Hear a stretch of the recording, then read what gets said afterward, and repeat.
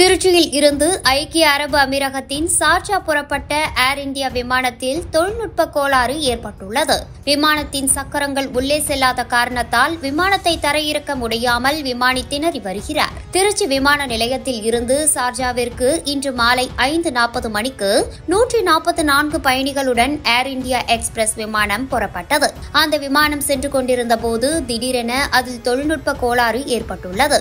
விமானத்தின் டயர்கள் விமானம் வானில் பறக்க தொடங்கிய பிறகும் உள்ளிழுத்து கொள்ளாமல் சிக்கலை கொடுத்திருக்கிறது. அதனை கண்டறிந்த விமானிகள் மீண்டும் அந்த விமானத்தை திருச்சி விமான நிலையத்தில் தரையிறக்க அனுமதி கேட்டனர். உடனடியாக அதற்கான அனுமதி கிடைத்த நிலையில் மீண்டும் அந்த விமானம் திருச்சி விமான நிலையத்திற்கு வந்தது.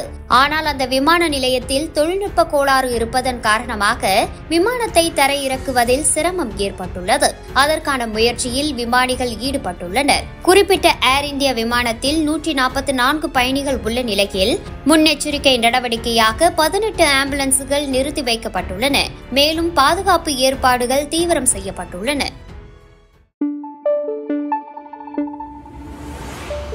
Thank you.